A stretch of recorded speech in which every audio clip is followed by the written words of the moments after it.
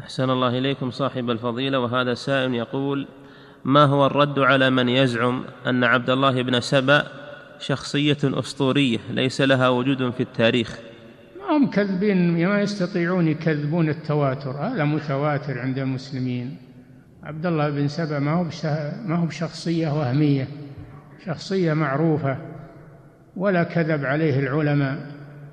مهما قالوا إنه وهمية هم الذين يريدون من ذلك عد يعني يريدون من ذلك عدم بيان أصلهم الذي بنوا عليه.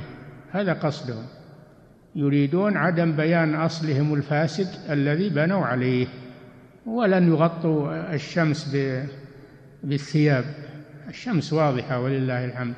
وما كان العلماء والمؤرخون ليكذبوا ويأتوا بشخصية وهمية. نعم. إعداد مشروع كبار العلماء بالكويت أعزها الله بالتوحيد والسنة.